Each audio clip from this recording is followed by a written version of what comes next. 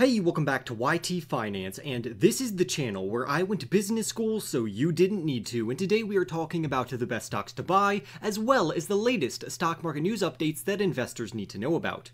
With that being said, go ahead and annihilate that like button right now, subscribe if you are new, comment down below your thoughts about any or all of these stories, and with that being said, let's get right into it. The stock market has been very volatile, especially as investors continue to fret about inflation data. But don't let that deter you from investing, because over the long term, investing can consistently tends to be the best investment strategy. This is why I actually use volatility and downturns as my favorite time to invest into my best stocks. But I always make sure to do my own research before I invest into any particular company, and I suggest that you should do the same. One group in particular that investors have been talking about is Truth Social, or better yet, Trump Media and Technology Group. This company's ticker symbol is DJT, and we actually predicted that this company would dramatically pull back in their share price and that is exactly what has happened. The company share price plunged yesterday after the company revealed that they lost $58 million last year and they only generated around $4.1 million worth of revenue. On top of that, this social media company also gave user metrics where they revealed that they have 10 times fewer users than Threads. And it seems that this company still has further to fall in their share price, so please be careful if you are invested into that company. Next up, let's talk about Google, or more specifically their parent company Alphabet, because Google Google recently went through a privacy lawsuit. So let's talk about what this lawsuit was about. Google has agreed to wipe the data of millions of users' browsing histories as a part of a settlement regarding a lawsuit that started back in 2020. The reason why this lawsuit was filed originally is because Google's incognito mode for Chrome really wasn't that incognito, and they would actually still record people's browsing histories. Once this information became known, a lawsuit was filed, and now it is finally coming to an end almost four years later. But since this lawsuit is ending, this is actually going to act as a positive catalyst for Alphabet shares, which I personally hold in my portfolio. But always make sure to do your own research. Next up, let's talk about United Airlines, because United is asking their pilots to take unpaid leave. The reason that they are doing this is because they don't have a lot of Boeing planes right now to book flights, so they are citing delays of Boeing's planes as the main problem here. This naturally will cause a decrease in United's revenue and their bottom line. So if you see a divot in the most recent earnings report for this company, now you know why, and it could be a great opportunity to buy into this company on a weakness, because fundamentally, United Airlines is very strong. If you've been following with these news updates, I've actually been advocating to buy Boeing stock, even though their share price has been crashing due to all of the negative publicity that has surrounded this company over the last few months. But despite this, recently an analyst actually believes that this company will surge in their share price up to $300 over the next 12 months, which would be a hefty payday for investors. So let's talk about it.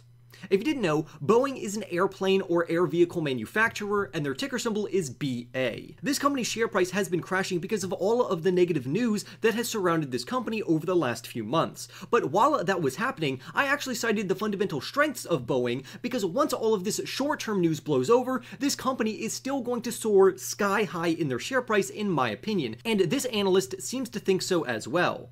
One analyst tracking this aerospace giant predicts that they will regain significant altitude over the next year. This Jefferies analyst reiterated her buy recommendation on the stock and she gave it a price target of $300, which they could obtain over the next 12 months, which would mean that this company could literally surge in their share price by almost 60%. But don't act too hastily by buying this company prematurely, because there could still be further downside in this company's share price. It seems that we are not yet done with the negative news updates surrounding Boeing, and until we are, then that would be a good time to buy into this company. But in the meantime, it looks like we are not done with their negative PR as of right now. However, if you are a long-term investor like myself and you don't mind holding this company for the next 5 to 10 years, then looking further into this company and doing your own due diligence will be recommended. So I would love to hear your thoughts down below about Boeing and this analyst's price target of $300 per share, which is pretty impressive.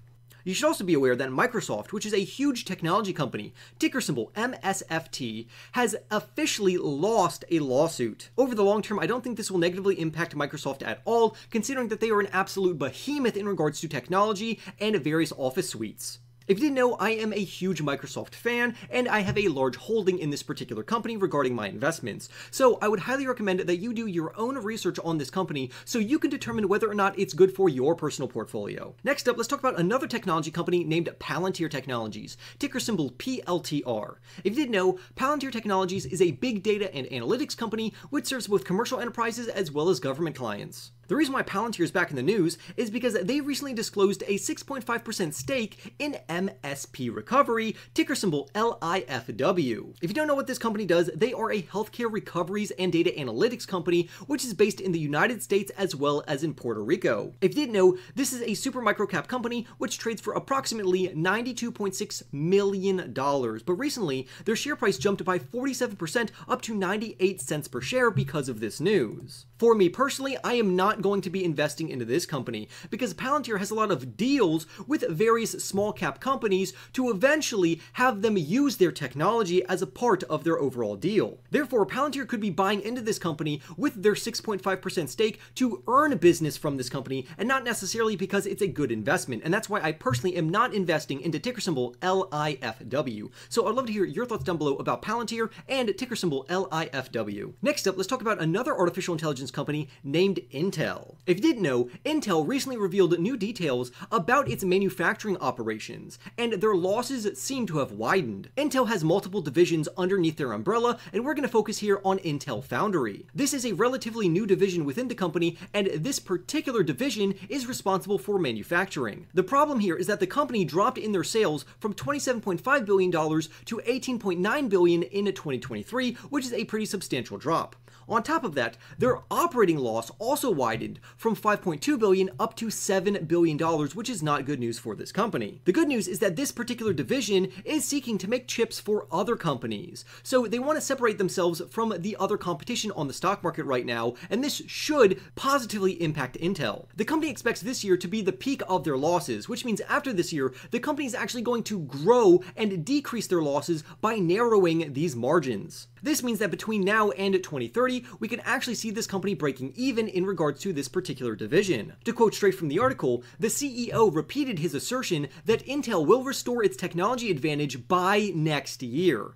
Over time, that will improve the capabilities of Intel's products and make them cheaper to manufacture. End quote. Therefore, this is good news, but it means that investors shouldn't buy into this company right now. Instead, I would wait until 2024 ends, and in the meantime, I would put this company on a watch list. Then after this year concludes, then that would be a better buying opportunity in my opinion. However, I do personally hold a little bit of Intel shares in my personal portfolio because I believe that this is a pretty good company to hold over the long term. So I'd love to hear your thoughts down below in the comments. Next up, let's talk about another gigantic technology company which also makes up a large portion of my personal portfolio, and that is none other than Apple. Apple is known for selling their iPhones as well as personal computers, but recently, an Evercore ISI analyst believes that there is a further upside left in this stock. The analyst says, Apple's latest research paper suggests the tech giant will be an AI winner when it solves the issue of having on device inference that can enable an iPhone supercycle. The analyst goes on to say, the key innovation here appears to be around reference resolution, which refers to how AI can understand references to on-screen data as well as more conversational text. The analyst goes on to elaborate, Apple simplifies the normally complex task of reference resolution by converting all on-screen data to text, which is far easier for a large language model to parse relative to images. This is the key feature that enables Apple to deliver high performance with a more limited number of parameters.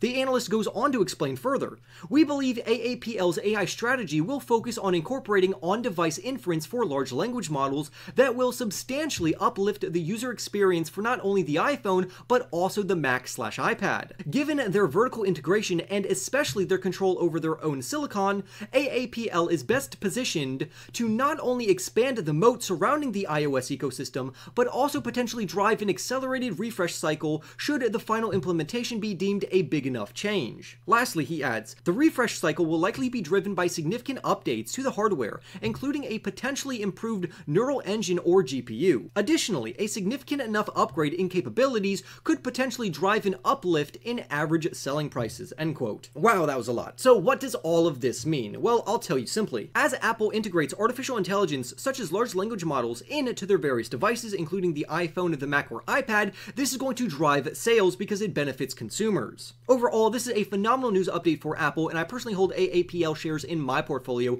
so I'd love to hear if you personally hold this company in yours in the comments down below. Next up, let's talk about some electric vehicle companies, starting off with none other than BYD. Ticker symbol BYDDY. If you didn't know, BYD is a battery manufacturer that really put themselves on the map back in 1995. BYD is China's leading electric vehicle seller, and they even have stolen the crown away from Tesla in regards to deliveries. As of right now, BYD is the world's largest EV seller and Tesla is number two. This is because during the first quarter, BYD sold 626,263 new energy vehicles, which represents a 13% year over year increase. On top of that, BYD's overseas sales literally tripled to around 38,434 units. By contrast, analysts forecast that Tesla delivered around 457,000 vehicles, which is a far cry from BYD's 626,000 vehicles sold. To make matters worse for Tesla, analysts fear that Tesla is actually on track to have a year over year decline in regards to their total year deliveries. Now, this should not be a shock to you considering that Elon Musk himself warned investors that this year is going to be notably slower, so hopefully if you are a Tesla investor, please brace yourself. For me personally, I do hold Tesla and BYD in my personal portfolio because I believe they are both fundamentally solid companies. But now let's talk about some more risky EV stocks,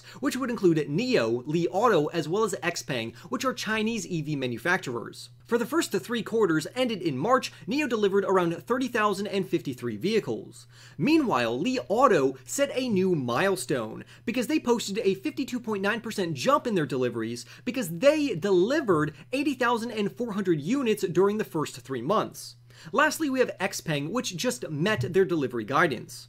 Their deliveries rose by 20% to 21,821 vehicles, and this was right in between the range of 21,000 and 22,500 vehicles, which they predicted that they would end up delivering. However, it seems that the real competition is between Li Auto and NIO, and it seems that XPeng has taken a back seat. But the giants are currently duking it out right now with BYD and Tesla at each other's throats. So I would love to hear your thoughts about any or all of these EV companies down below in the comments. Lastly, let's talk about some AI stocks which are plummeting right now for no good reason which would include artificial intelligence stocks such as Advanced Micro Devices, ticker symbol AMD, C3.ai, ticker symbol AI, ARM Holdings, ticker name ARM, ticker symbol ARM, and last but not least, Micron Technology, ticker symbol MU. These companies have dropped by 3.7%, 2.8%, and 1.8%, and another 1.8% respectively. So let's first talk about what they do, and then my thoughts on these companies. For some background information, AMD provides graphics processing units, also known as GPUs,